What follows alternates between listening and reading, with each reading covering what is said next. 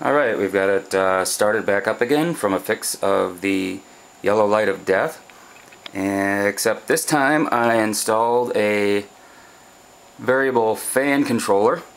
Uh, what that is, is right now it's turned all the way down. Fan is probably next to off. But if we turn it up, you can hear the fan slowly kicking in. And it will go all the way up to the max speed of the fan.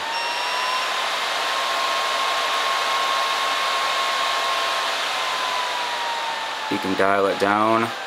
Ideally you probably want to run it just at a nice light speed uh, just low enough where when the game's on you don't hear it but you know enough that it keeps the processor cooled.